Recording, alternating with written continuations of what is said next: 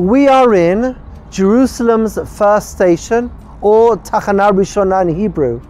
In recent years, it's become a modern center of culture with shopping, restaurants, shows, and much more. The station itself has a long history that dates back to the 1800s, and then after years of neglect, it was opened as a cultural center in 2013.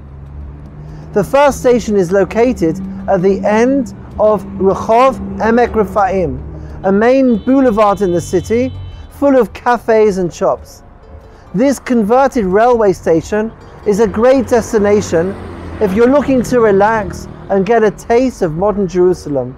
The center stage hosts live performances of local musicians and actors.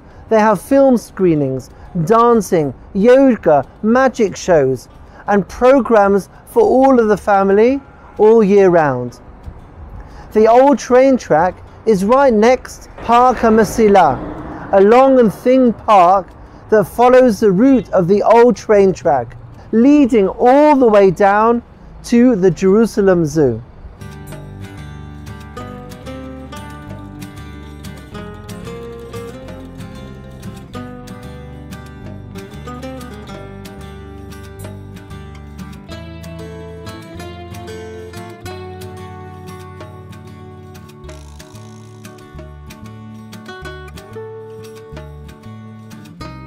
We're sitting here in the Khan Theatre of Jerusalem. The Khan Theatre is a very exciting place. It is a gem in the city and I look forward to you discovering it too. Jerusalem is a city of culture with over 40 museums, including the Israel Museum, the Science Museum, the Natural History Museum, and many more.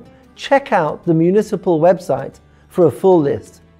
The Jerusalem Theatre is home to the Jerusalem Symphony Orchestra.